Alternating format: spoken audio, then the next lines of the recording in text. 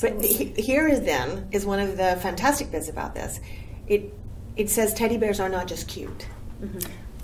Because lots of people Yeah. think that these wee guys mm-hmm. are cute, but they're not. They're really important. They keep children feeling protected and safe.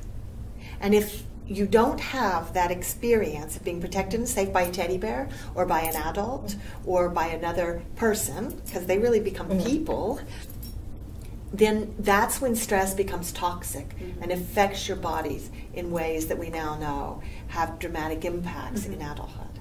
So, h- how do we help people to understand that these little fellas who look sweet are crucially important?